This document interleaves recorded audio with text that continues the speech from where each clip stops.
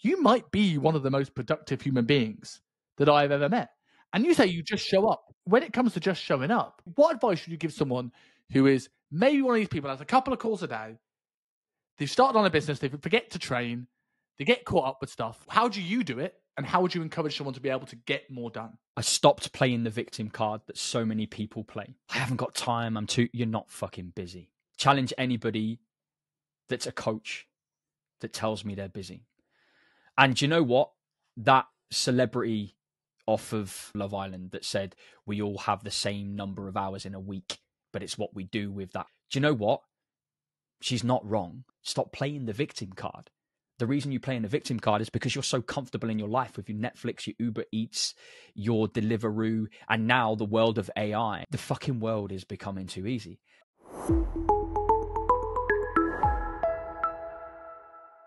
So, Dean, I've been looking forward to this episode for a couple of reasons. One, I met you for the first time in person like only a month ago, Hmm. and you saved me from, well, getting stuck down south when I didn't live there.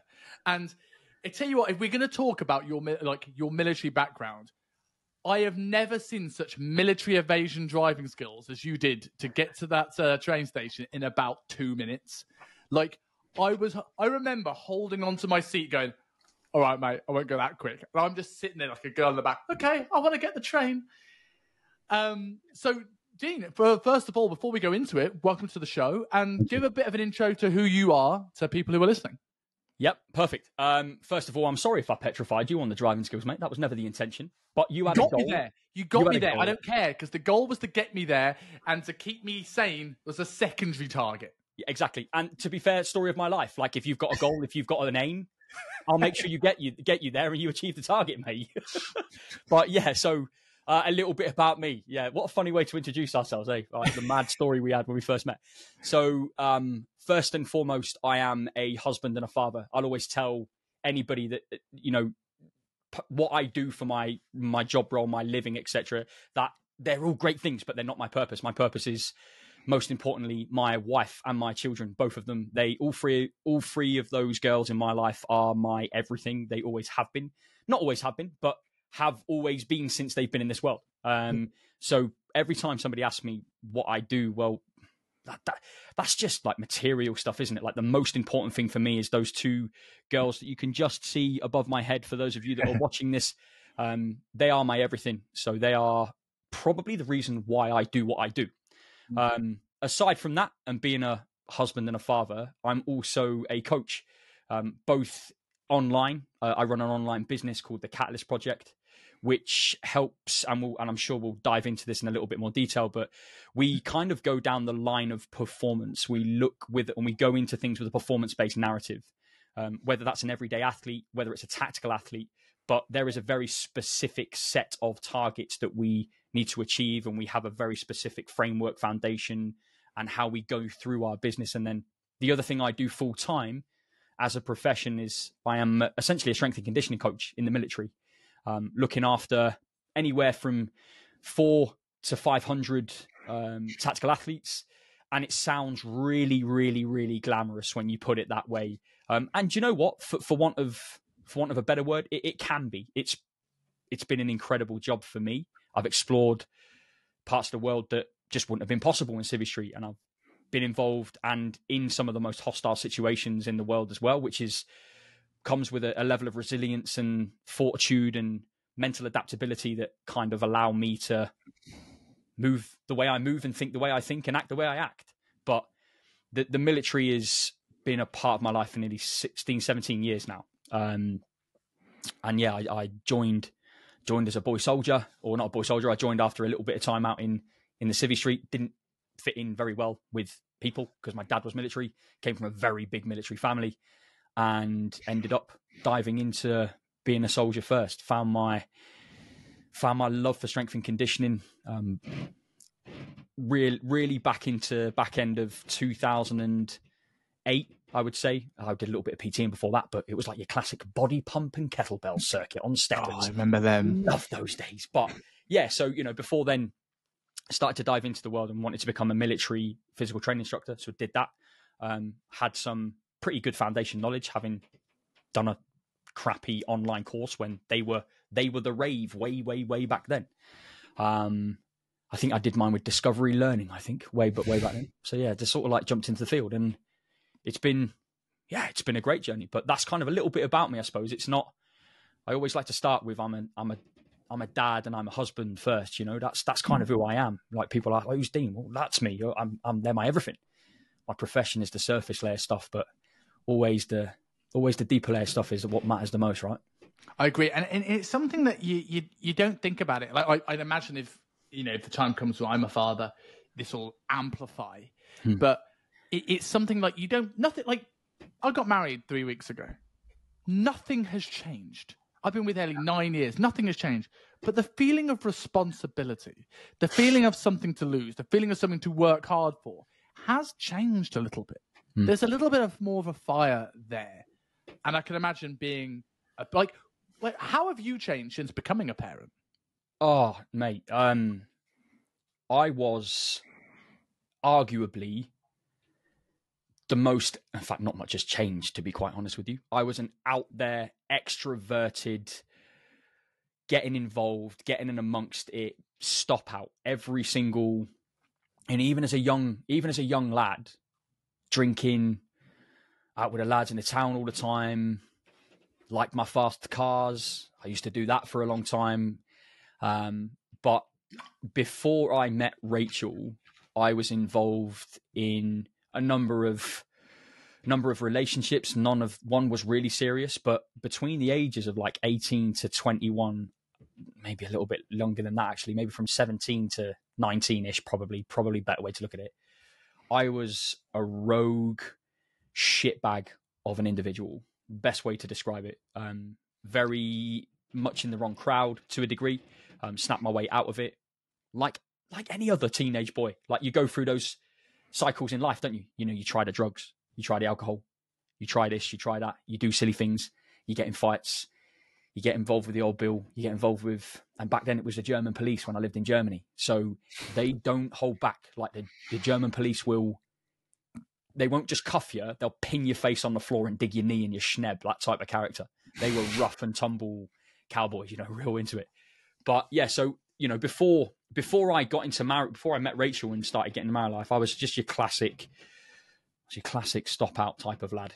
Go out, get pissed. Didn't really like. Yes, a little bit of narcissism and ego. Don't we all have that when we're well, even now? Like we all have it to a degree. Um, mine was just amplified even more because I wanted to be the center of attention all the time and kind of be the party goer, the the people, the one that people went to for a good laugh. Let's go, yeah, go on, Dean will do that. Yeah, he'll do that. I'm like, yeah, come on then, let's go. You know, whether it's getting shot in the ass with a potato gun or a potato cannon, or jumping off of a four story building into a big paddling pool, like Dean would be the plonker that would do it. Um, so how that's changed now is I think my both my wife and I have both evolved not just in like in life in general, but as human beings, as parents.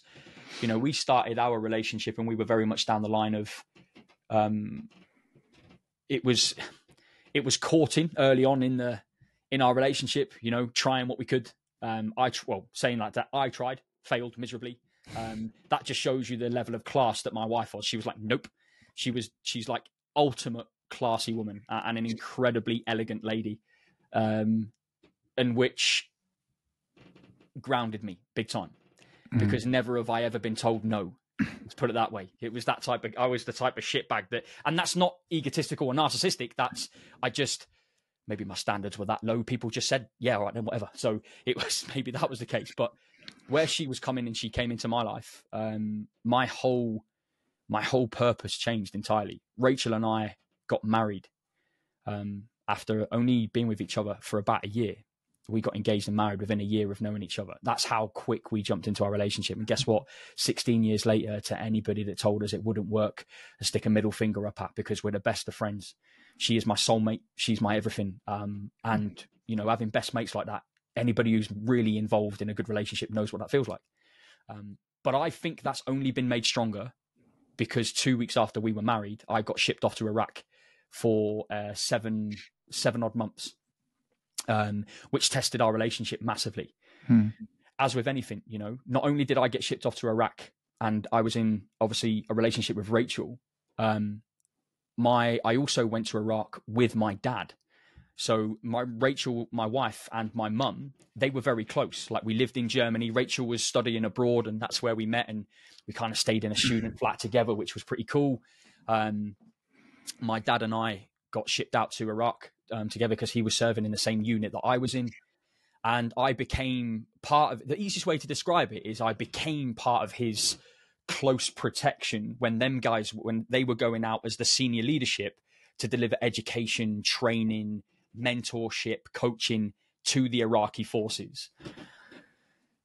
That then came with a lot of stress and pressure in the family. So my youngest brother became the boy of the house, you know, for want of a better word. Um, he's six, seven years my younger. But my mum and Rachel had to deal with the fact that not only did my mum had to deal with the fact not only was her son away, but her husband was away. Rachel had to deal with the fact that not only was her husband away, her father in law was away. And as you can imagine, in those years back in 2008, 2009, what you found was a lot of stuff was being thrown out on the media. A lot of stuff was thrown out on the media. And it, it amplifies how people feel about that. uh, People feel about what goes on in Iraq and what goes on in Afghanistan. The media's a really wish-washy, polarizing viewpoint. Like, find me something that's all is positive in the news. You'll fail to do How that. so? How does it differ? How how does did the experience being out there differ from what we were shown?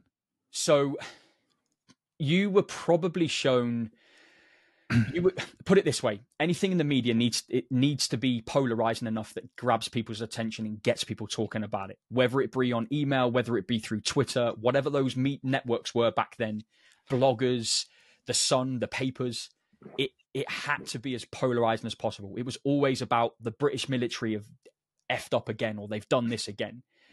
When in actuality that wasn't the case. When we were over in iraq being part of we called it a MIT team. So mentoring, integration, teaching and training. We used to be part of a team that would go out and deliver to higher leadership, higher management in the Iraqi forces and help and support and mentor them, making strategic decisions, making operationally critical decisions, helping them with building a force, helping them building self-defense, helping them build out their military a little bit more. What that what you guys saw on the media was British military have done this or they've done something wrong and they've done that and they've done this. And then that it, that just wasn't the case. Like you when we were out there everything that we doing kind of felt like we had a bit of a purpose and we were building some incredible relationship with these people. Like and you do like you have to in order to make an impact on somebody the language barrier was massive absolutely massive which is why you'll see military guys they are unbelievably good at communicating with anybody, regardless of where they are, regard, regardless of language barriers, body language, hand gestures, that sort of thing. So we were with them day in day out, teaching them how to be better at what they what they did in their job. But the military, the, or the media, portrayed it as things like, you know, we we're interfering, we're we're rigging things, we're causing riots and all this other, and that that just wasn't the case. You know, it wasn't it wasn't the doom and gloom that so many people perceived it to be, and it used to be. It was like that, Mhm. and it was classic. Like it's why you'll never hear me be a supporter of Piers Morgan ever, because he single handedly was one of the people that were trying to pull down nothing, no one from my cap badge, but pull down some people that were involved in some stuff that happened at what we used to call the breadbasket. So the the Iraqi prisoner, like harm to prisoners of war, which again weren't true, and all of the claims that he made were proven to be fabricated, were proven to be lies, were proven to be polarized to the rest of the UK public to put a negative agenda or a negative viewpoint on how the military were doing their job. And that just wasn't true, mate. Like it, it wasn't true. And the people that were involved in that, I wasn't involved in that per- personally, but the people that were involved in that, their whole career, their whole life, everything about them was absolutely ripped from underneath them because of somebody like that that tarnished the media or tarnished him with or them with that brush. And the media believe it, you know, and people get ostracized by it. So since that day, I, I can tell you right now, I have not watched the news in 15 years at least, maybe even more. Have I've you ever experienced it the other way round when because like it, uh, the Iraq War was a very unique thing because there was so much confusion and animosity about the reasons why we went to war Mhm. and maybe not legitimate. So I can see where this this in a way this backlash of the the military undeservedly so because it wasn't you didn't send yourself there came from. But at the same time I can imagine there are so many conflicts which are potentially like that if it never came out where you're sent somewhere based off queen and country and you're feel that you are the good guys and the militaries are portraying we are the good guys these are the villains. Like we can look at it right now. If you look at the military ukraine are the heroes. Russia are the enemy. Yeah. where i can imagine if you went out on the front line like like no one's e- evil and good People's are shades of gray like have you ever been sent anywhere where you've gone like actually we're not entirely the good guys here or have, you always had this big strong moral compass with the guys around you and if not how did you deal with that So getting the job done my moral compass and my my ethics have been tested. Of course, they have. Anybody who served in Afghanistan, who served in, who served in Iraq, we're not like you're in you're in the midst and the thick of shit. You're not going to make the best decisions, but it's why you're trained so in depth and detail down to the decision making points where they can make and break you. You're trained in that way to try and make a good decision most importantly, as a human, you just try and make the morally right decision. What happens at the highest level of leadership and why we go out to those countries has nothing to do, nothing to do with, I'd say, about 99.9% of the boys and girls that join the military. Most people don't join the military because of a pol- political agenda. Most people join the military because they don't have anywhere else to go. Didn't really succeed in the early day early stages of their career. Some people might be patriotic, might do it for Queen and Country. I didn't do it for Queen and Country. I honestly I'm not really that asked about the Queen and Country shit, if I'm brutally honest with you. It has no you know, maybe that's but I'm I'm patriotic. I of course I, I love I love England. I love being British. I loved I love the the character traits. I love what we stand for. I love all of that, of course, but it's not why I joined the military. I joined the military because I had fuck all else to do. So us going out to Iraq, to Afghanistan, of course you're tested morally, ethically. And have you made the wrong decision? I've made wrong decisions. Of course I've made wrong decisions. Who's not made bloody wrong decisions? Said something wrong or done something stupid that they perhaps shouldn't have done. But to go back to your point about we're not always we're you know are we portrayed we might be portrayed as the good guys but actually what goes on behind the scenes nobody's out there inadvertently trying to be a bad person Hmm. nobody you know you go out there the first thing that you do is is my mucker left and right of me? Are they safe? Am i safe? Are we safe? Are we protected? You're always going to protect your best interests and the people that are left and right of you always. I grew up with half of the people i went on tour to iraq with you know? I and again the guys i went out to afghanistan with these are family friends. They're they're all we're all part of a brotherhood and that's what it was you know? We're all really really close and it's like you're literally shitting eating sleeping living talking laughing crying with these people every single day week in week out. So if anything happens to one of them there's going to be a you're going to become the aggressor. You're going to want to do things to people that you know as you would as you would without you know without going into too much detail as you would. But the bottom line is mate when you go out there in somewhere like afghanistan people people are people want to kill you and equally you've got a job to do and you some people join to go and do that Hmm. you know it's not, But, it's not, like, fucking- it's not an there are easy place to be There, there are, as you said, there are people that go out and do that. But I, I, I- I, I would assume that that is not the majority of the military. no Like I presume the majority of people are there with a bloodthirst. And we said that obviously there are there are you go out there and sometimes you do realize that like no as you said you are self-aware enough to realize no one's out there to harm on both sides of the coin afghanis iraqis british americans That's not technically true because you go out there, you've been stood in the face of anybody in any sort of terrorist organization, ISIS, ISIL, anybody that when they they want to hurt you, and they'll do it in the dirtiest way that they can possible. Like we we are we are not welcome over there. Most of the time, we're not welcome in mm-hmm. those areas at all, at all in any way, shape, or form. However, if if we were out there in a different sphere, go back to the go back to the 1890s, the 1900s, early doors, mate. Afghanistan and Iraq were thriving destinations, thriving tourist populations. So you can't get into the history of all the war. We just we there's no time for that. But they've seen their country completely disintegrate to become yet a third world country that's been ostracized from the whole of the world to be absolute shit. I tell you what, you don't see. I guarantee you've never seen how incredibly beautiful northern Iraq is and the mountainous region. Go imagine. online and type in northern Iraq. Anybody watching this, and you will you will never see northern Iraq. You will never ever ever see the pictures that what Iraq is about because you've been pictured places like Basra, places like Baghdad, places like the stuff that happened with Saddam Hussein, the palace stuff that happened with the petrol bombs, the riots, the war, the improvised explode. You've seen all of that stuff. You've seen all of the shithole of what happens in Iraq. Guess what? We've got that in the UK as well. But the you go and have a look at what happens in the northern Iraq, mate. It's a stunning part of the world. So I want to caveat that by saying, like, yes, people don't go out there to arm, but like people join the military to go and do that. Like a lot of people like to do that. Mm. As mad as it sounds, but equally when we go out there, be under no illusion. Like they want to. It's the same with the Ukraine, Ukraine and Russian war.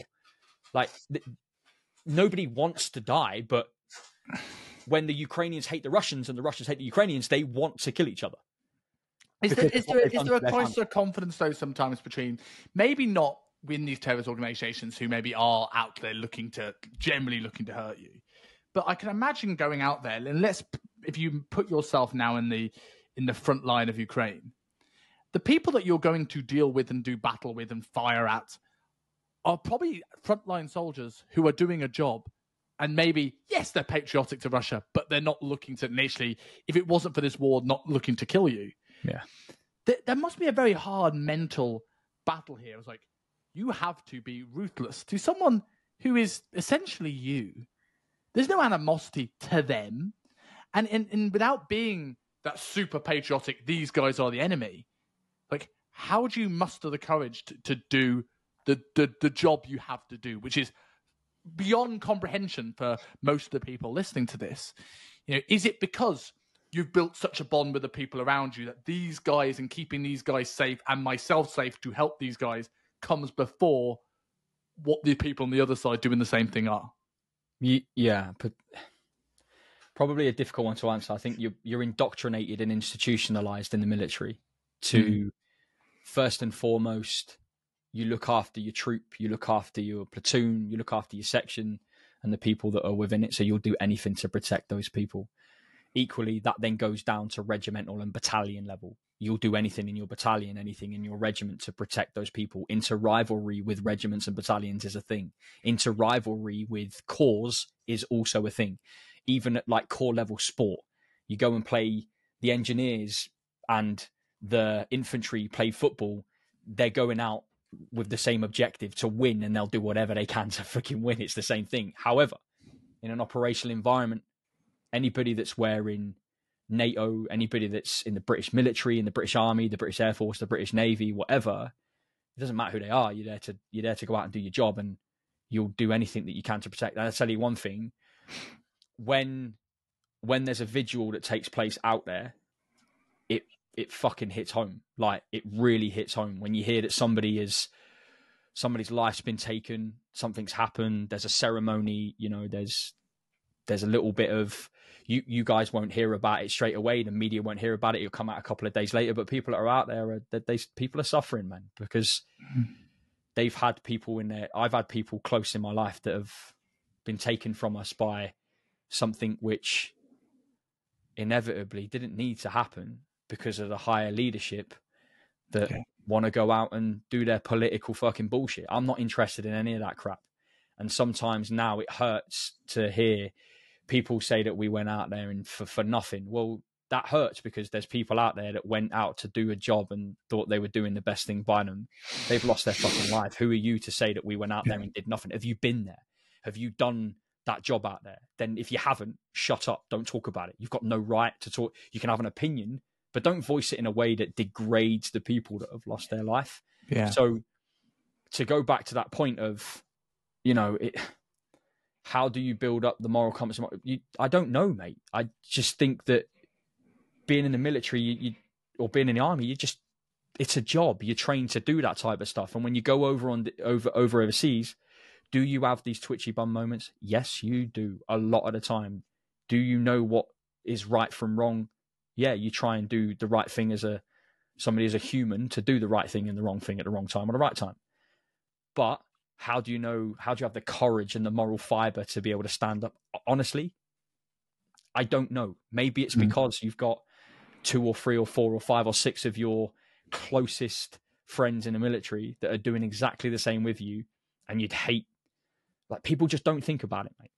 People don't think about it. If I mm. implore mm. you to talk to anybody, I could probably put two or three people in your books that you could speak to who would might be able to answer that better because they've properly properly suffered. I'm in no position to. I don't think that's true. I've, I'm I am very fortunate, very fucking lucky, very lucky to have been in the position I was in. Very lucky to have what has happened to me happen. Other people aren't so lucky, mm. um, but maybe they'll tell you otherwise. Maybe they'll tell you they are lucky. One of our an absolute legend of a human being, Matthew Wiskin, lost his leg out in Iraq, uh, sorry, out in Afghanistan in 2012, he'll probably he'll probably tell you he's lucky. He's one of the lucky ones, and he will tell you why he does it. Everybody has their own reason. Most people's yeah. reason is to fucking come home to their why, and my why is behind my head. I just wanted to come home and be safe with my kids. I wanted to come home and yeah. be safe with my wife. So you do whatever you need to do. You know, you you do whatever job you can you do whatever role you can. You protect the other people next to you. But at the bottom line, nobody wants to fucking die.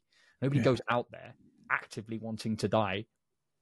Unfortunately, in some of those countries, people are completely brainwashed and polarized in the other direction.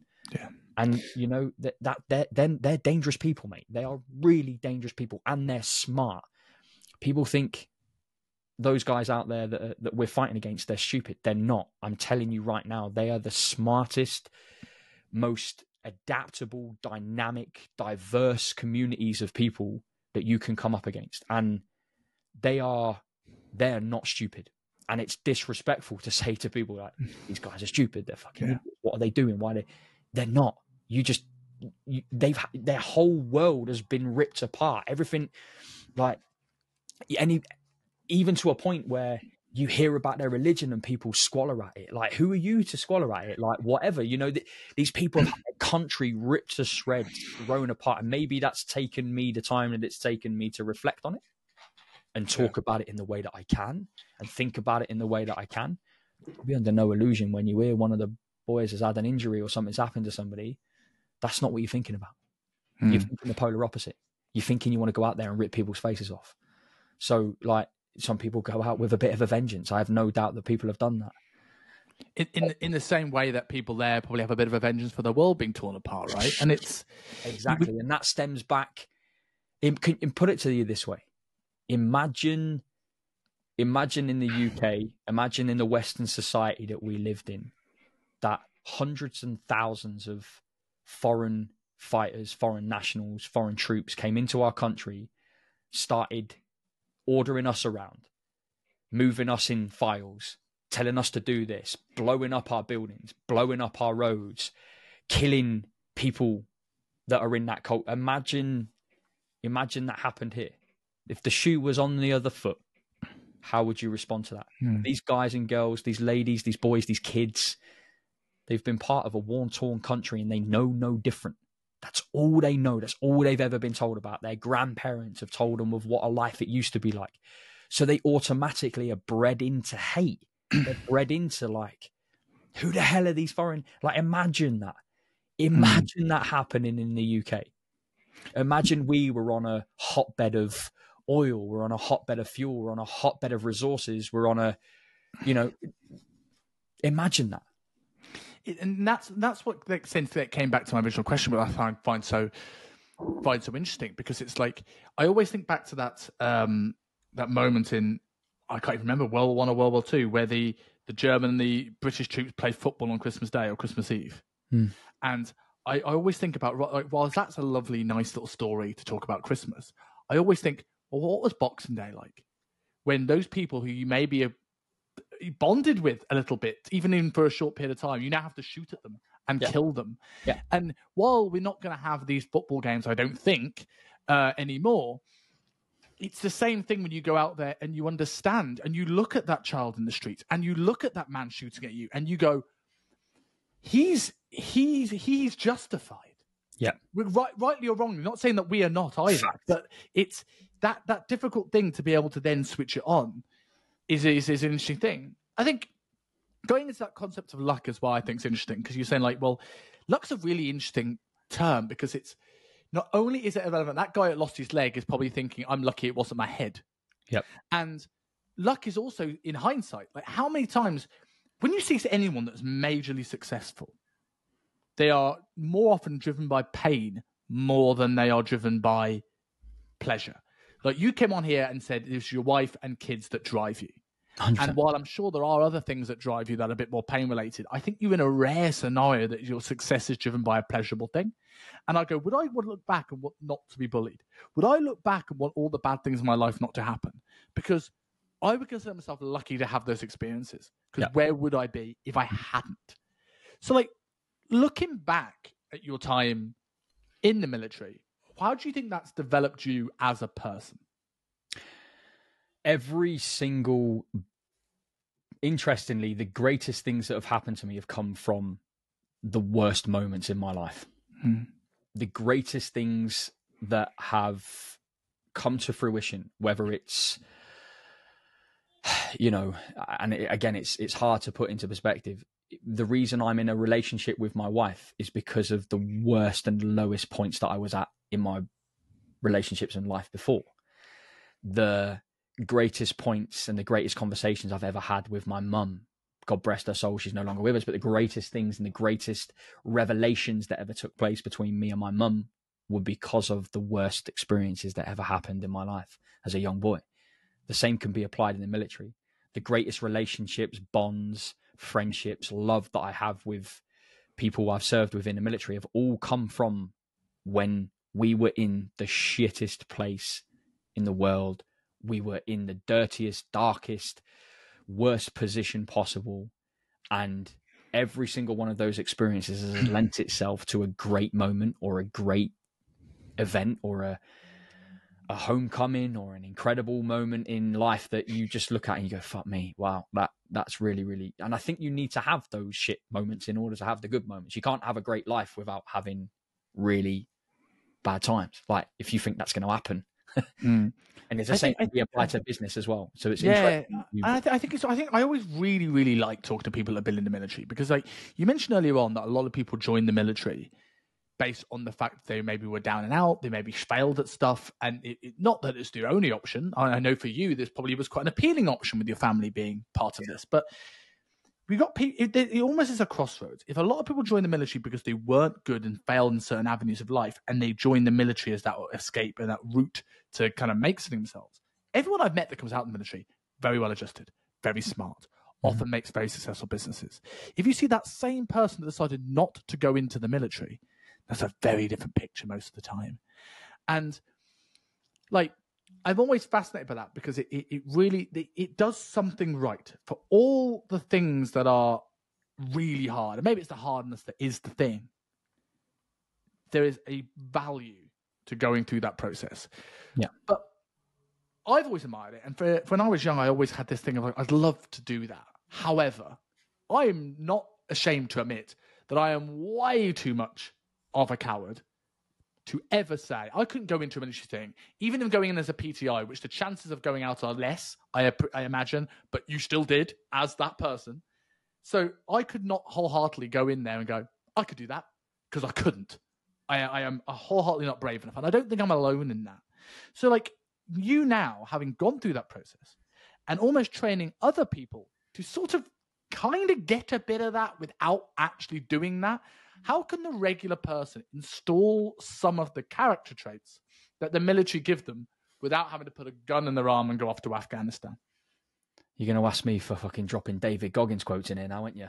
So first things first. Um, I want gonna- Dean Hammond quotes. Ah, Fuck you ain't David getting. Goggins. So, yeah, exactly. Because I, I think, interestingly, you look at people like there's people out there doing it now. Um, you look at your Jocko Willink, you look at your David Goggins um, of the world. They're they're trying to explain to people what mental toughness looks like, what hardship looks like, what resilience looks like. Even down to the lowest level nowadays, you're getting people talking about cold showers and cold water immersion therapy and Can you fake that? It's not the same.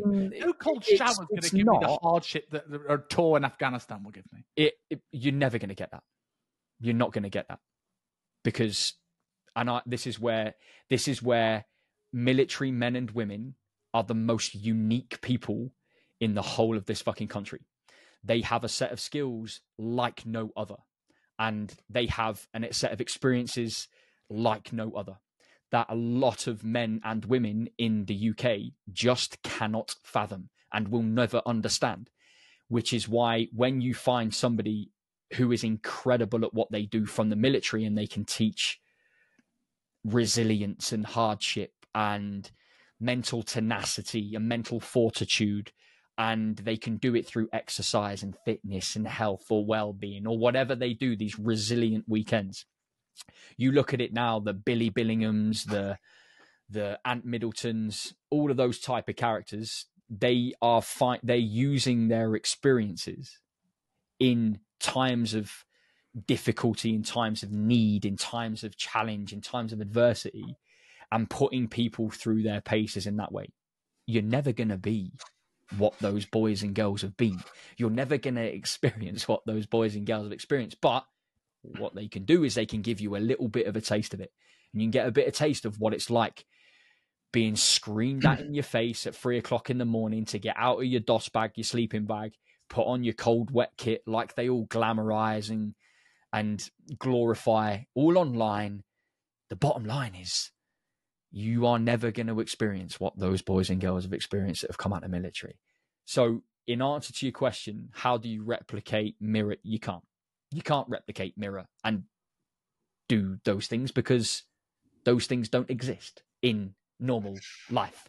The only way you can do it is by pushing people beyond and out of their comfort zones, pushing people well and above and beyond of what they think that they are capable of. And they use that phrase in inch by inch, step by step, yard by yard, pace by pace. You just layer resilience in the same type of way. You try and you try and take like you try and take an athlete into the realm of pushing what real strength endurance looks like. You try and take an athlete to push into the realm of what real failure looks like because every rep that you fail is another kink that's added to the resilience chain. It's another link that's added to the mental tenacity and mental fortitude chain. You just keep trying to do that, like layer by layer by layer. It's the same in the military. People don't join the military and are bang, in instantaneously brave and courageous because there are also people in the military that are absolute cowards. There are also people in the military that morally and ethically compasses are all off. There are people in the military that are selfish. There are people in the military that are not committed to the boys left and right of them. There are a lot of people in the military that shouldn't be in the military because of their physical stamina, their physical fitness, their mental wiring, their mental capacity, because they don't have and there are a lot of people that will not deploy in the military because they don't have those attributes. Equally, there are a lot of people in the military that had those attributes, got injured, got hurt, suffered with PTSD, suffered with mental issues, mental health problems, that again have earned their stripes, earned the right to be who they are, but it's come at the cost of more than their health and their wellness. And one thing I want to sort of bring out to you is you're not a coward, mate. You're not a coward. And it's not about you not wanting to do it because you think you're a coward and you're not brave. It's because you just don't know. It's the unknown. And the thing is that people think you're going to go into this hardcore boot camp style room with 50,000 beds. You're going to be spat at, kicked at, broken, built up again. Like that, that's not the type of military now it's evolving year by year. Like it's not that. It's a the military has painted been painted a picture of being great. Like you, you know, it's it is difficult. It can be difficult, but the barrier to entry has changed. Getting to go on operational deployment and operational tour has changed. You know, we're not running wars of like the Falklands War. We're not doing Op Granby, which was the Iraq campaign years and years and years ago, which which even my old boy was part of. You know, my dad was part of that invasion where all the Brits went over to the Kuwaiti line into Iraq and they fought off hardcore war. That was hardcore war back then. Same as Afghanistan. People are not going to experience weighing through an absolute cesspit of shit up to their knee deep, hip deep, full of crap in these irrigation ditches, getting shot at, blown up, trying to follow a tracker that's on a phone that's telling somebody over there to fire that way because that's what no you, you, people are not going to experience that anymore. Certainly not in the immediate in the in, in interim period. Like afghanistan is not the type of war that we're in at the moment. Guess what iraq look at that place. That was a war. Now we've got british troops in the middle of iraq teaching in i was out there two or three years ago and i wanted to show you this because i think you were talking about football. And I, I don't know how well we're going to see this on the camera, but that is a picture of me bang in the center with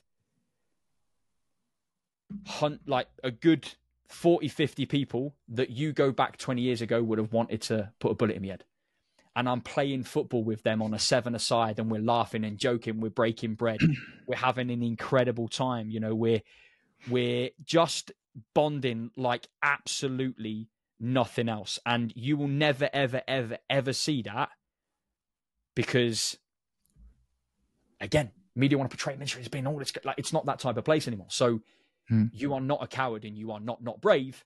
It's just you don't know. It's the unknown. And I guarantee if you had nothing left, if you had no business, if the world fell apart, if your world fell apart, if you want a better word, and you touch wood, it never does. If military was the last place for you, you probably sign a dotted line and, and join the military. Mm. And anybody, like, I don't say that this lightly, like anybody can do it. You you can do it. You can you can be trained to do it. It's not it's not as difficult and as doom and gloom as people think it is. And equally, military comes with some amazing experiences, amazing experiences, experiences in sport. I've I've been in a kayak for two weeks, kayaking down the Kananaskis River in Canada, right through the Rocky Mountains, and didn't pay a penny. I've climbed up I've climbed up Mount Yamnuska in the Rocky Mountains. I've been to Italy. I've been to Canada on sports tours. I've been to I've been all over Europe, traveled the world doing sporting experiences that just are out of this world and haven't had to pay anything for. Mm. So, you know, there's lots of great things. You go back to the point about, you know, how do civies get to experience civilians how do they how they experience a little bit of what the military can offer them mate i'm the wrong person to tell you that because i'm not the type of person that glorifies dunking yourself in a fucking river doing your ice baths and getting cold and wet and being shouted at and spat at and like you sit the leave that to the the leave that to the military celebrities that are doing that at a minute Hmm. because mm. it mate I don't know why why it's so attractive. I genuinely don't know why people find that type of shit attractive. That SAS he who dares wins type of shit. Or who dares wins type of stuff. Like I don't know why people people must just love what that brings with them. They want to find their purpose. They want to find yeah. I, I, I, think, I think you've hit the nail on the head with purpose. I think there's an element of the world's got so comfortable. If you want to watch a film, we got Netflix. If you want to have food, we get delivery.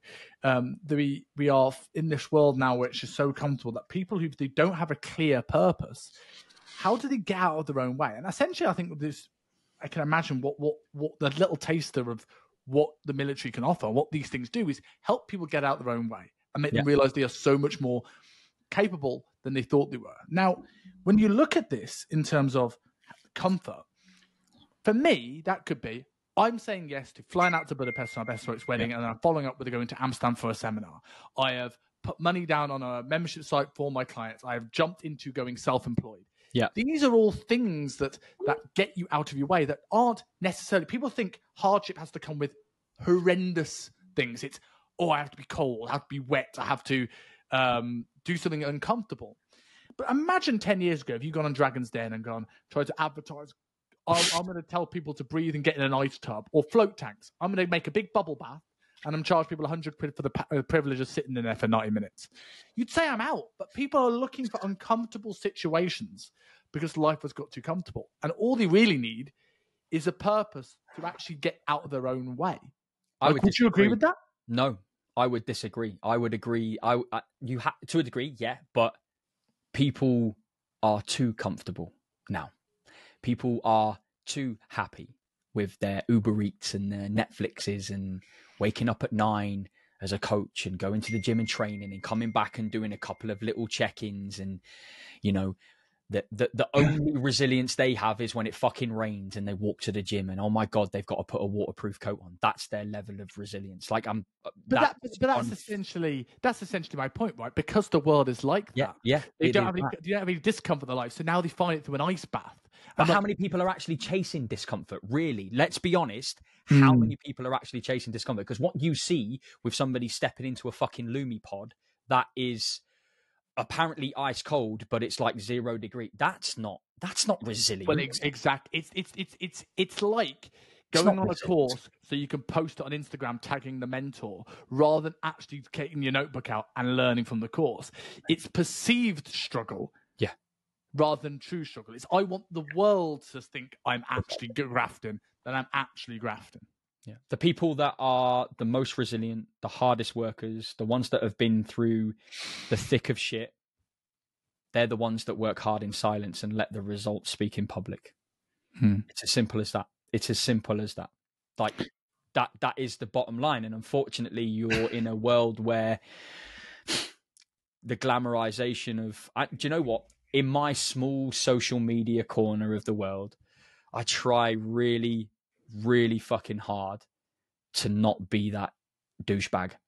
I try really, really hard to just show up every day. Just give a little bit of something to somebody out there that might just be struggling with whatever it is because there are so many pick me up fucking shitfluencers that will give you the guide and give the answer and tell you to buy a Lumi and dunk yourself in an ice bath and go and run 30k every day and push the resilience and go to the gym. Like people are and it's and, and I want to I want to be that small person in the social media world that little corner of the world where I can bring a little bit of positivity but meet somebody where they are. Look if you ain't got an ice bath stop fucking telling people to get in an ice bath.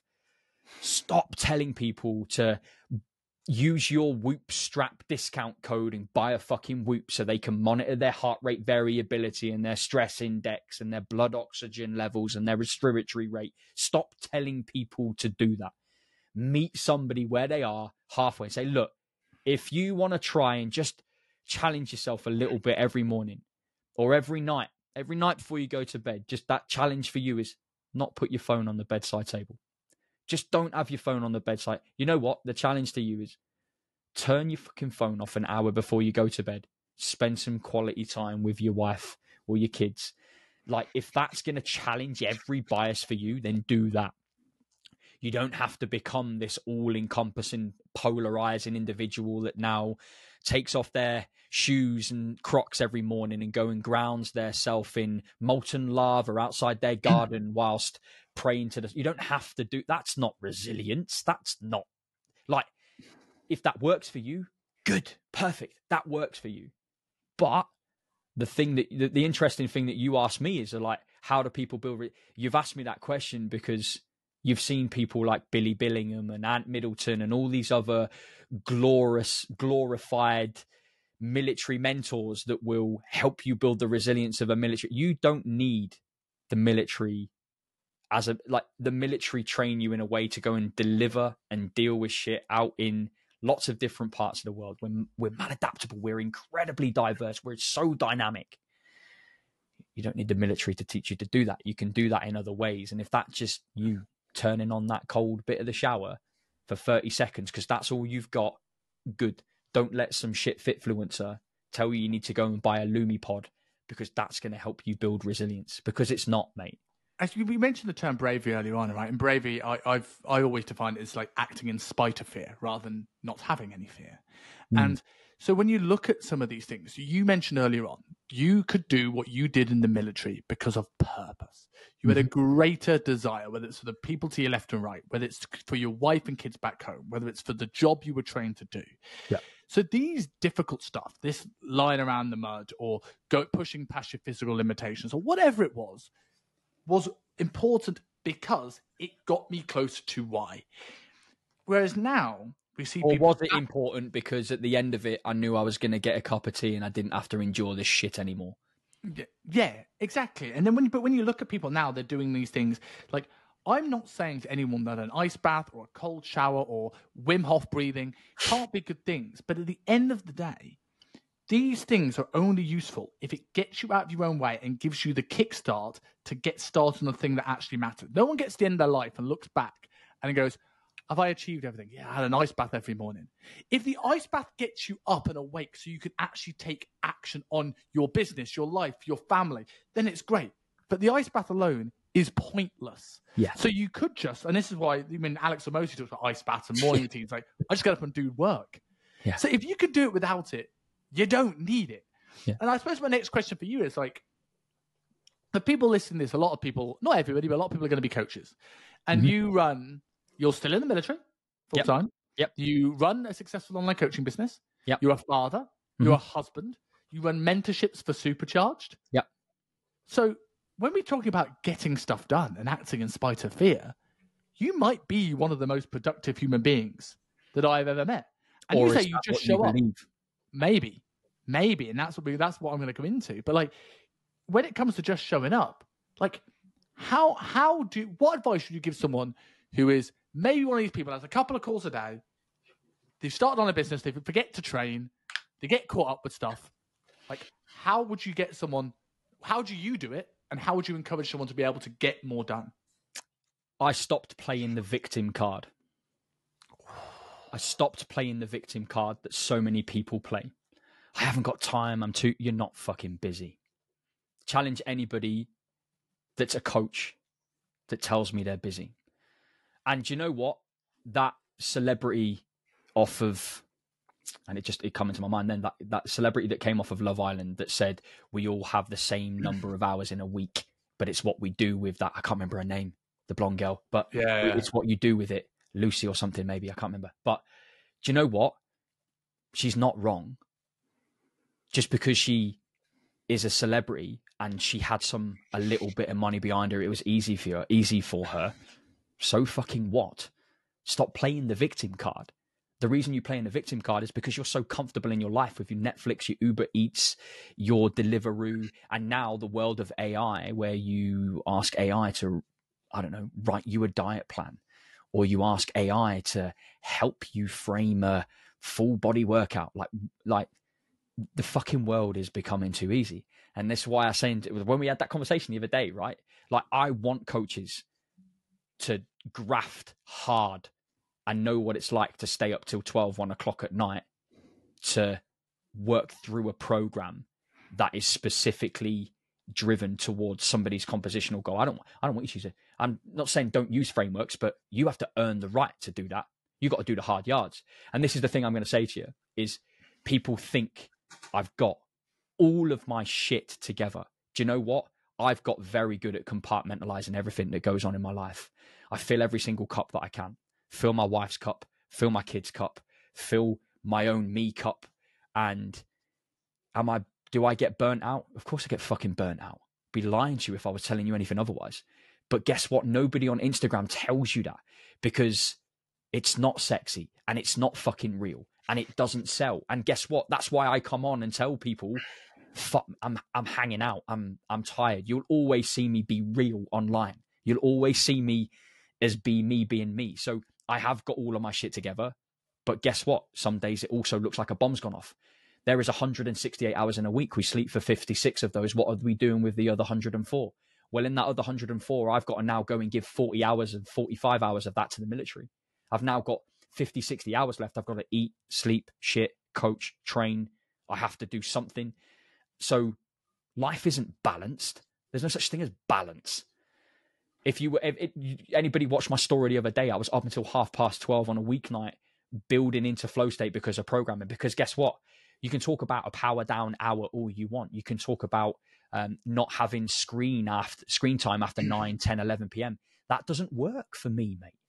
You can talk about waking up at you can talk about getting your perfect seven, eight hours sleep, taking your nighttime nootropics, your ashwagandha, making sure you wake up in the morning, do your pint of water, go and do your grounding. Guess what?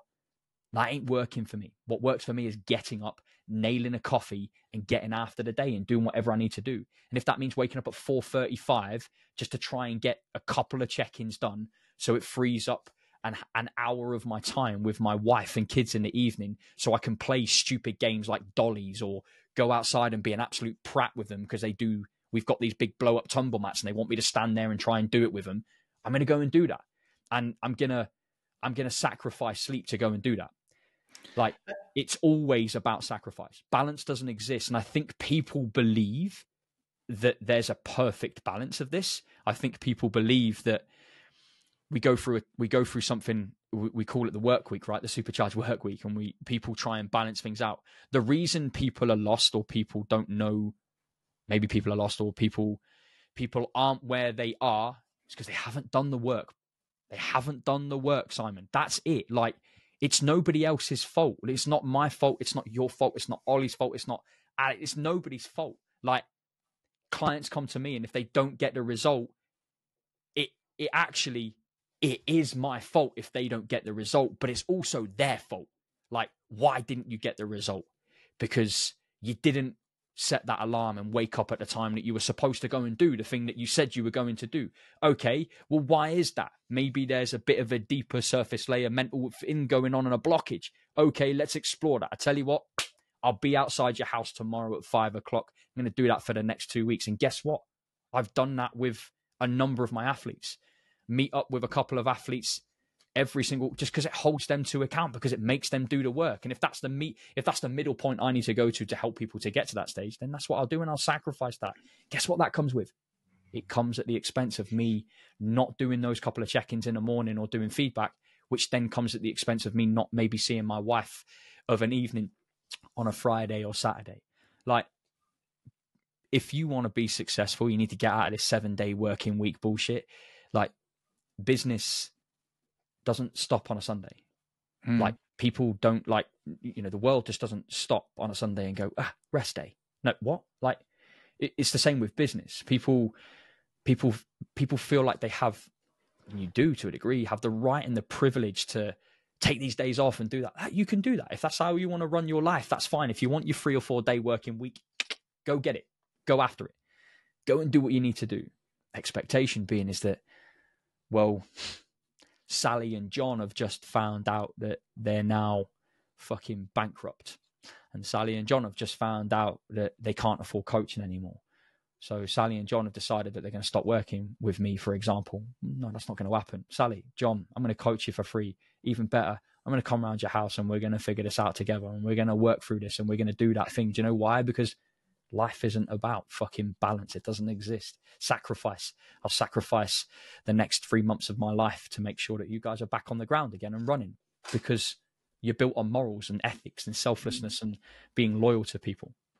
But I'll be honest, Simon, I've gone off a bit of a rant there. I'll be honest, but it's there are a lot of people playing the victim card and potentially, and do you know why I can say that? Because I did that. I did that for for a number of years. I played the victim card and thought to myself, why am I not? And I looked at other coaches and was like, why am I not in their shoes? Like, why am I not getting a result like they're getting? Like, I'm I'm better than they are. I know I'm better. I'm delivering a better product. Why? Because I didn't do the work to build the systems that I needed to get those people across the line. I didn't mm. do the work building the knowledge base from other coaches and thought I knew better. I didn't do the work to outbound and reached all these people. I didn't do the work. So what did I do? I printed off flyers. I walked around my fucking neighborhood and I started trying to do the work. And mm. lo and behold, the business built and it kept going. So it's you know what? It's an interesting analogy is that nobody will ever know what doing a paper round feels like ever again. because why? Because the paper can be delivered on your smartphone or it can be delivered with the perfect prime delivery for the next day. Like nobody's going to know what a hard, hard, paper round feels like anymore, do they? Yeah, I mean, I, I, I totally, I totally agree with that, and it, it's you have to earn the right to do the work. I remember when I started at, at UP, I, I still lived in Wombourne and just outside Wolverhampton. I went to London every day. I had two and a half hours commute every day, six days a week, right? And then I was doing all my stuff on a Sunday. And while I would never do that again now, that's mental. Yeah. It, it, I, I, I worry now when you see the amount of coaches that come into the industry, especially now with the boom of online, where they're looking at this as an easy option. When I wanted to move online, I, I was like, it wasn't I want to work on with on the beach with this imaginary Wi-Fi connection that apparently beaches have in the online training world. Yeah. It was I want to still work very very hard. I just want to be able to do it from a coffee shop if I want to. You yeah. know, I want a bit of flexibility of how I do that work. I don't want to give up time with my family and my wife, my you know, my friends because I'll just get up at 4 and start the work earlier. It's never about not doing the work for me. And we see this now where I see coaching. I've generally seen this in mentorship. Um, thankfully, not on Supercharge. I think Ollie creates a, a, an environment of integrity. But I've seen, hey, I'm looking at someone uh, to hire someone to do all my programming uh, or and my meal plans. Who can I, who can I um, outsource this to? I'm like, that is literally your job. Like you, like it's like going a plumber going, oh, I need to outsource my plumbing. And, like, and I get it. If you're a multi-million pound business and you've got to be the businessman, that's different. But if you're looking to go, yeah, I just don't want to do the one thing I'm employed to do, I'm like, how comfortable have you gotten yeah. that you are not doing the one thing you should be doing? I, I basically want to be an Instagram influencer. Yeah. I'm like, well, you're not Logan Paul. So stop trying to be fucking Logan Paul and actually be a coach. Because if you were Logan Paul, you wouldn't have started a coaching business because you'd already have the followers. You'd be interesting enough to do it from day one. You're clearly not. Do your fucking job. And I think this is me going on a rant here, but like that, uh, like I don't know what I think of that. You've all got the same hours in a day thing. I just did a, my last week's episode of the podcast is me and Rob talking about genetics. Yeah. And I looked at genetics not on the lens of um, thyroid and limb length. I looked at genetics in terms of like upbringing. If I grew up in the countryside on a farm where I had to cook my own food and hunt it and things like this, and I played 17,000 sports as a kid, I'm going to have a much easier time staying lean than the person who grew up in the middle of London with low income bracket, living off Deliveroo and got an N64 on the third birthday. So I don't think we have the same 24 hours in a day. And I do have an element of empathy in saying that, look, we don't have the same 24 hours a day. Agreed. We have a different background. However, the world isn't fair. And regardless whether he has a different 24 hours to you, what are you going to do about it? The like, line in that is that genetics, genetics predispose you, but they don't predetermine. Yes. Like genetics predispose you to a particular life, a particular environment, a set of character traits, a set of um, belief systems, but they don't predetermine what the future looks like. Because, like, that's just not the case. Otherwise, how have these incredible people that have come from nothing be able to create something? Because they agreed that their genetics didn't predispose them and they they predetermined what their future was going to be. But equally, going back to that point you said about coaches, for want of a better word here, is that I I think it's brilliant that there's loads of coaches coming into the industry. It's good. There's loads of because these new online coaches have got so much to offer. They've got some technical wizardry, some skill sets that are amazing. But guess what? You still need to do the work. You still got to earn a right to do it. You know, you still have to go through. I think you still need to go through the trenches, and I don't want this to be a negative thing at all. I want it to be positive. I like really, I encourage people to really think about the positivity here. Just the message being in, in that is that if you have to go out and do the hard, you've got to do the paper round. You've got to do the paper round, mate. And if you haven't done the paper round, then you, and uh, this is interesting actually, and you can speak to Ollie about this. I work inside Supercharged Fit Pro as a support mechanism for other coaches, and I run the elevation team now. And this is this is just how I've been predisposed and brought up to things. Like I will never call myself, and this is really, I will never call myself a business mentor because, in my opinion, I haven't earned the stripes to be a business mentor yet. I, I just don't. I just I haven't personally earned the stripes to be a business mentor. I am first and foremost a husband, a father. That's the most important thing. I'm a strength and conditioning coach for the military. That's an important thing. I own a business and it's a successful business as an online strength and conditioning coach and performance coach. Like I help, I help aspiring high performers become high performers. I will, I'm not a business coach. However, what I do try and say to people, as I, I'm, and and they, again, this is just coming back because I want to do the hard yards in business, develop the business acumen. Yeah, I might have helped people hit five figure months. I might have helped people build an incredible business. Doesn't make me a business mentor. I just call people and say to people, look, I'm, I'm just like, I'm like the coach's coach. I just help them, support them, and guide them through the systems. Whereas Ollie's done that. He's done the hard yards. He's built multiple, multiple six figure businesses has incredible business acumen, business knowledge. He is in the absolute space to do that as a business mentor. I'm just a coach that helps through the elevation side support people. I'm just a support staff in the back room. Hmm. And maybe that's a little bit maybe that's a little bit of the imposter thing, but it comes back to the thing. Do you know why, Simon? Because I haven't done the paper round as a businessman well, exactly. to tell people that I'm a business mentor, which is why you you you won't see me post on my on my Instagram and my Facebook and stuff like that, you won't see me share the wins of all of the people in elevation, the the twenty odd coaches I'm looking at. I'm not going to share that stuff because that's not the messaging that I want to do in my small, small social media corner of the world. My, people come to me because they want coaching. They want to they want to understand the, and navigate the landscape landscape of health and fitness. People don't come to me because they want to be a business mentor you go to Ollie because you want to be mentored in business, and then Ollie's like, I know who exactly who's going to fit the bill for you, Dean. Yeah. And Dean coaches and supports you using the mentorship learning that Ollie's has provided.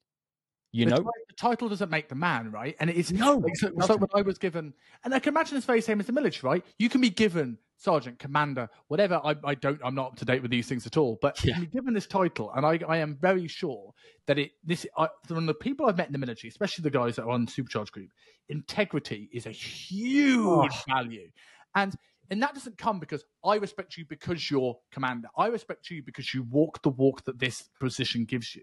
Yeah. In the same way that when I was given the mentor title in, in when I worked for a you know, big global PT company, like I wasn't a mentor at that stage. I was just a PT. I learned. I call myself a mentor, not for business in the same way because I've not earned my stripes, but a, business, yeah. a mentor for coaches because I've done it for eight, nine years. I've helped people get results. I've helped people through those challenges. And I've seen it in mentorships for and businessmen that I've had.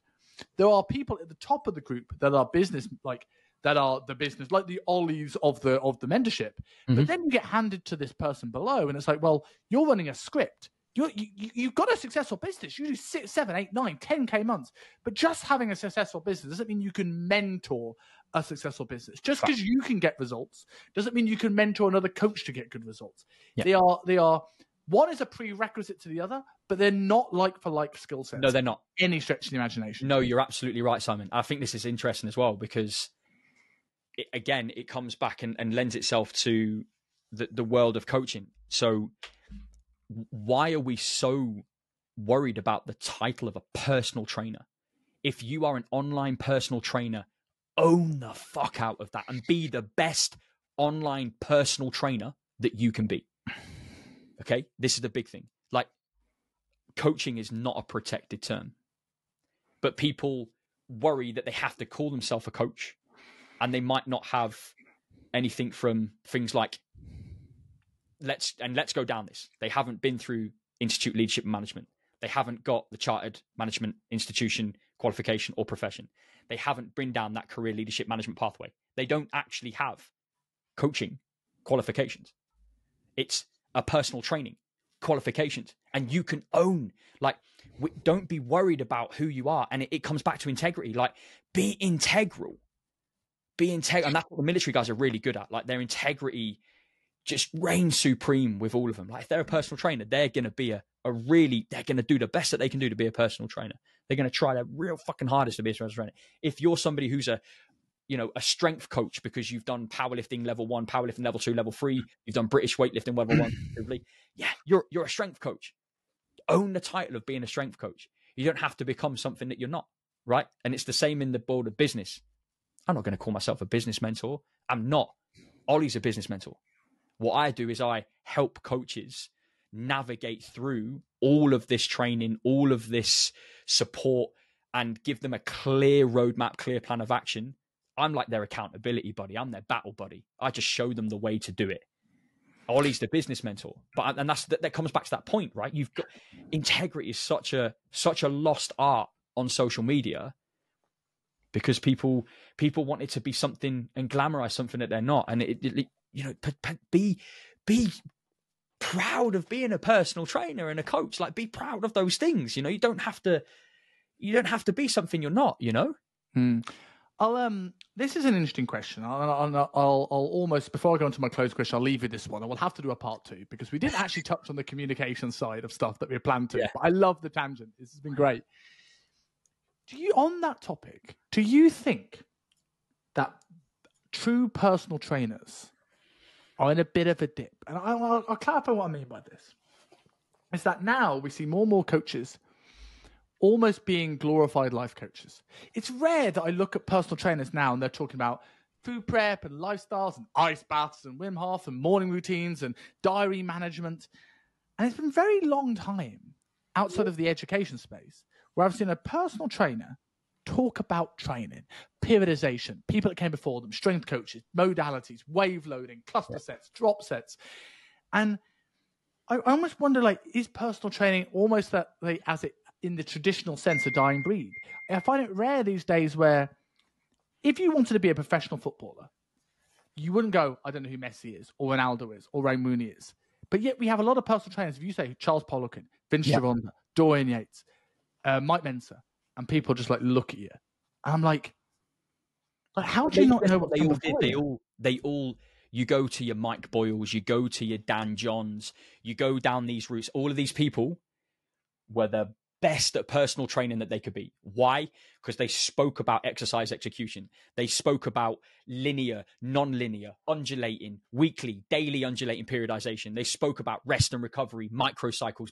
They spoke about that to the depth and detail that excited the shit out of them and you'll get the same from the likes of me because I guess what I'm a coach and I Yeah. can help you with some of the behavior change and psychology stuff because I've gone and done some of the stages of change stuff with Dr. Gary Mendoza and you you look at all that psychology but you do that work and allows you to become and help people with those psychology pieces. But if you're a personal trainer, like own the space, be a charismatic fucker and show people how to do a back squat, show people what you can look at, be unique, be different, like Dan John was.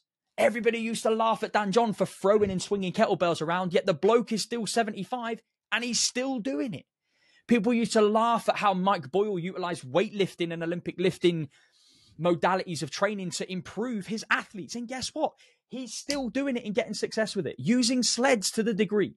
Every, like, these people are so good. If you are a personal trainer, you want to be a personal trainer, you want to be an online personal trainer, be the best at that. Do that. Yeah. Do that. Stop looking for a VA that's going to handle all of that. Stop look like do the hard work. Do the paper round. I I uh I think like when you when you sort of look at this as well, I think people coaches are spreading themselves too thin because they they know to get a result they need to understand nutrition, need to understand psychology, need to understand communication, and while those things that's true, and and we had a whole I've got a whole bunch of questions for you for a round two talking about communication because you are good at it. However. I feel that coaches now are spreading themselves so thin they forget that to actually be a good personal trainer. And sometimes it's like, well, you look at like Tom Hibbert, Stefan Gazol, they're two great examples. Yeah. They don't do nutrition No. because they're really fucking good strength coaches. Yeah. And like, and that's like, while I think yes, if you want to be a results producing trainer, you've got to get your clients adherent. You've got to manage the nutrition. Yes, but if you, I think if if I have to get slightly less results, but also uh, do my job description, Yeah. I will do my job description over this. If I want to go down that route so far down that I have to forget about training, change my bio and put life coach and make personal trainer the protected term. And that's not to slate life coaching. No. If you want to be a life coach, be the best fucking life coach. If you want to be a personal trainer, have an understanding of periodization and how to actually progressively overload someone rather than just say calories in versus calories out, progressive overload. Well, congratulations, numbnuts. Your clients already knew that. What? How Yeah, are what they do you actually doing these things? Go to the late. Go go layer layer layer layer deep. And again, it comes back to that point. Like stay in your lane. Stay in Mm. your lane. Stay in your lane. Do the paper round. Don't be shy of the work. Ex- Exactly that, buddy. So it. I've got one closing question I ask before I let people go. It's the same one at everyone, and I always do it impromptu because it does stump people, but for good reason, because I want real answers. Tell me something that you have changed your mind on. Ooh. and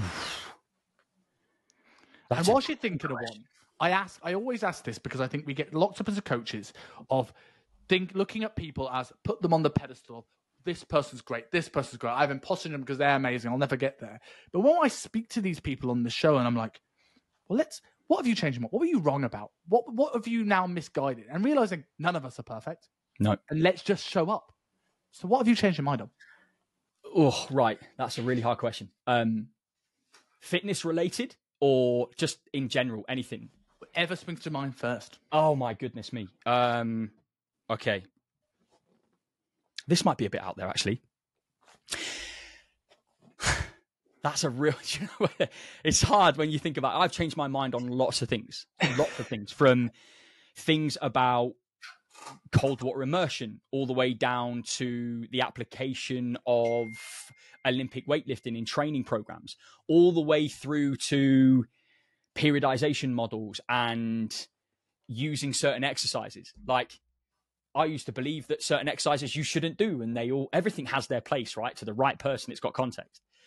I think the most profound one for me, and this is more recent, is the taboo around mental health. Um, for me personally, and this is only because I've been on my own journey with it, and not because I'm a mental health bloody expert. Am I? Hell, not at all. Um, I can only talk about my experiences. So, mental health for me, I used to see as weak.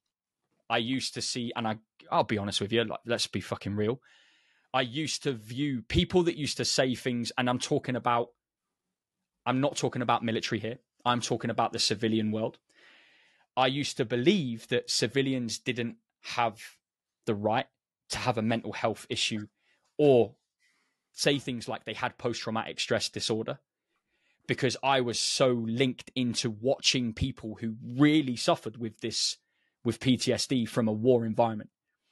And when you see people that have been through that and you work with people that have been through that, it completely changes your life, how they view things, how they see things, their energy, their their environment, their their own self belief, their self efficacy, their motivation. Everything changes within somebody that has PTSD. But for me, for a long time, I used to view mental health as a taboo subject. I used to think it was weak. I used to think if somebody said they had PTSD or somebody said they had a mental health issue, I would be like, what? There's nothing wrong with you. Get a grip. Come on. Let's, and I'm talking about military guys here as well and civilians. Like, fucking sort yourself out. Come on. Let's go. Stop. Just stop chatting shit. And for me personally, that, that changed probably in 2015, 2016, when I really started to dive deep into mindset, start to dive deep into psychology, really getting into it um, and how it affected people. I, because again, I, I, used to view myself as weak when I went and seen a CPN um, after after operational tour. Like, I just thought I was weak. I'd never tell people about because I think people would think I was really weak and I was a bit fucking wet behind the ears. But what's CPN? CPN is a it's um like a therapist. Hmm. Therapist post in the in the military, but I haven't seen one of those on a couple of occasions. Used to think, oh, I'm not going to tell anybody about it. I don't want anybody to know because Mhm. it'll be weak, and I don't want people to see me in that light. But it's been up and it wasn't up until 2015, 16 where, again, out of the back of a really shit situation, you begin to realize that everybody suffers with it in their own special way. And it's such a unique thing that we have to tread carefully. We have to be mindful of what people are dealing with. Anybody can have PTSD. I only believed it was military. Anybody can have ambient anxiety, chronic stress, chronic fatigue. Anybody can suffer with depression, whether it be acute or longitudinal. Like everybody can suffer these things. It's not just people in the military. And actually came because I was indoctrinated and institutionalized through the military. Mm. I So suppose some of these things, it's like it, it- they are relative, right? Because it's relative to your experience. Because what could what I might find taking my stride might floor you, and vice versa. There will be things that would stress you out that won't Yeah. stress me out, and Yeah. there'll be a lot of things that stress me the fuck out that won't stress you out. And if you're somebody who has had that comfy life and that nice upbringing, the Deliveroo and the N64, you might get a PTSD or anxiety or chronic stress from something that's nowhere near Really? yeah. than than the military experience. Yeah. But the military experience, they've gone through a lot more, but they could have probably handled a lot more. They've just reached that level. Yeah, you're right, mate. You're really right. And I think I just, again, I just changed. That's probably been the one thing I've changed my mind on Mm. massively is how mental health affects and mental and people's psychology, how much that affects their performance. And it's been it's been such a massive dive, a massive dive working with Gary and going through a number of things there years ago. You just start to realize people have people people have so many different unique qualities and for me as a somebody in the military uh, it was show up do what needs to be done make sure you're dressed make sure your boots are polished your kit's ironed yeah. your kit's pressed good to go stop fucking complaining get it done and that's kind of been it has been a huge evolution and that's been an evolution that's been only curated because of the coaching space I've been into because if I was mm. only locked into the military I'll only ever know the military but mm. when you start working out in the civilian world I remember I remember my first ever word document as a program I sent with some shitty Excel numbers on the side of it I remember sending that to a client and thinking oh in fact I remember posting um I remember posting paper copy workout programs and everything else every month and then getting them to post them back to me. I yeah, remember doing that. Post stamp stamps were so so it would cost me a fortune back now. Like look at it now, stamps would be crazy. I remember sending them off to clients and getting them sending yeah. back. But we, I like all the way back then, I couldn't give a shit. Could not give a shit about what was going on up here. I just wanted you to do the sets, do the reps, do the eat the food. Done. And it's not until you start evolving as a coach you realize that the psychology of performance and the psychology of health and the psychology of well-being it influences people in loads of different ways and you need to be armed with how to deal with that situation. And if you're not armed you need to know who to refer to and who to have in your network that can help you with that. But for me because i never explored it i thought it was taboo. I never touched it. And it's not until you dive really really deep and you get into the psychology of sport you get psychology of performance and really start understanding habit based, chain based, behavior based interventions with people that you realize it's it's not taboo. It's mm. it needs to be normalized. It needs to be spoken about because the more we speak about it, the more that men particularly view mental health not as a taboo or as a as a as a, as a stigmatizing subject because for me that's how I viewed it. And I want to spread the message that if you're not fucking okay, it's okay not to be o fucking K if you're in a shit place, it's okay to be in a shit place. But what are we going to do about it? Yeah. What are we going to do about it? How can we help you? What can we do? Who can we refer to? Who can we speak to? What support mechanisms can we get? And again, we might, it'll be ebbs and flows, peaks and troughs. And eventually we'll come out of that trough and the peak will just continue to climb so that your base layer trough is never back down in the dirty trenches. It's middle tier because you can deal with things and you've got the tool sets, you've got the mechanisms, you've got everything that you need to support yourself from a mindset perspective. That's why communication is such a powerful tool. It's why I'm so passionate about communicating with with people. Why I'm so hmm. passionate mm. about helping people improve their communication. Because if you can if you can become a better listener and a better doer, you then improve that individual's results thousands of times over because you're not just armed with sets and reps, you're armed with thought processes, you're armed with tools, which can then be vocalized. And you can use that to the best of your advantage and your ability to get that result for that client. Whereas for a long I, time, I, I, I, love that, and I, I also feel like there it's it's almost important that you went to one extreme to be able to find back and find that middle ground. Because I reckon a lot of people would talk about without going into it because otherwise it'll be a three-hour show. You know, will people people people find that middle ground. If you hadn't gone to that, I don't give a fuck, just do it mentality you would find maybe almost be too empathetic and be the yeah. renter friend. And it's finding that going so far to find that balance the other way will give you a perspective, like giving you going into the military gave you a perspective that no one else can have. Yeah. Having that opinion now coming back gives you a perspective that someone that maybe was a bit mollycoddle as a kid will not have. And they are maybe a bit too genuine. And I think we've basically said here that we've, we've got to have this part too because we've, we've gone into it.